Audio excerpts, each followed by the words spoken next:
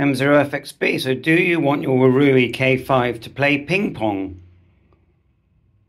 To put in firmware mode, turn the radio off, hold your finger on the PTT, then the torch will light up, then enter the twin pin into your device, push quite hard, and then the other end of the USB cable, so both end cable, into your PC. Double click the program whilst your device is connected via USB to the PC. Select your COM port. To find this, you go right click Device Manager. Ports, you'll see it's 13 here where it says CH340. Click Connect, very important. It needs to, when you do that, it needs to say yes. I think I've got it running a couple of times here, so we'll just make sure you're not running it more than once, like me do it again. Now it's connected now.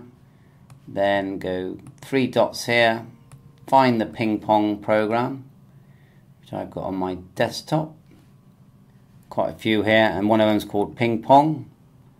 Enter. And that or your radio will flash. Once that's done, let's go and have a look at some ping pong.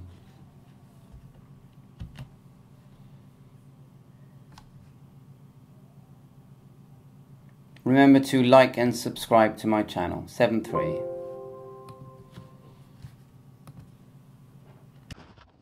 So there's the ping pong. Quite weird, really. More of a gimmick. I, don't think I'd ever use it, but you get the idea. You're now playing ping pong, and it does go black and white.